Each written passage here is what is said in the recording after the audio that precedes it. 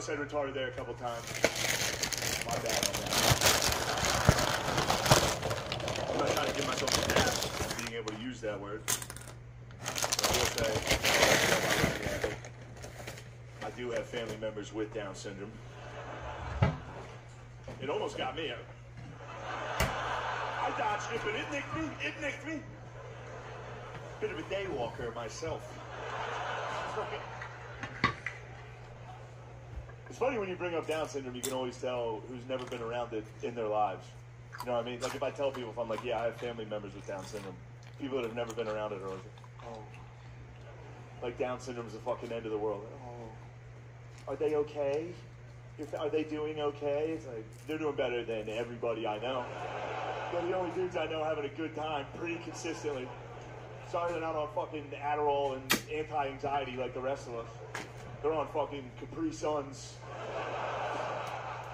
having a good time. Dude, my uncle Danny, my uncle Danny sneaks grilled cheese sandwiches into restaurants, just in case they don't serve grilled cheese sandwiches. You don't know where he's getting these fucking things. It's the best. It's the best. You'll be out to dinner with him. You look across the table, you see him sneaking a grilled cheese.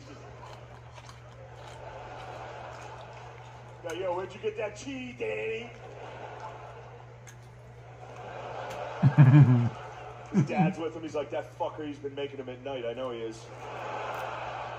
I'm not making them at night, Dad. And he'll look at you and be like, I'm making them at night. What's better than that, dude? What's better? What's better?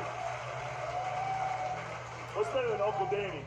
Uncle Danny, three in the morning, shirtless, baggy gym shorts, quietly, secretly in his parents' kitchen, on a secret mission to make ten grilled cheese sandwiches. Just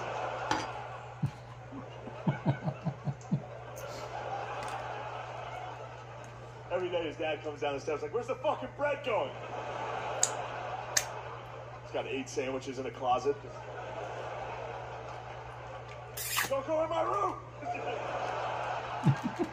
Now, Down syndrome rules. You don't have to. Obviously, that's not how you say it. Yeah. You don't go around saying fucking Down syndrome rules. I'm saying it wrong. I'm not. I'm not discounting the fact it's hard for families. It is. I've witnessed it firsthand. It's difficult. It's fucking. It's scary. It's very scary at first. Then you quickly realize that's easily the only good family member we have. That's the only good person I know. They're the bros, dude. They're the perfect bro. They love two things, dude. They love John Cena.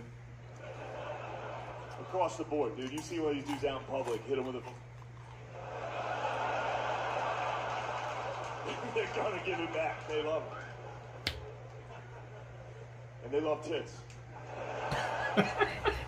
Down love tits. A very uncomfortable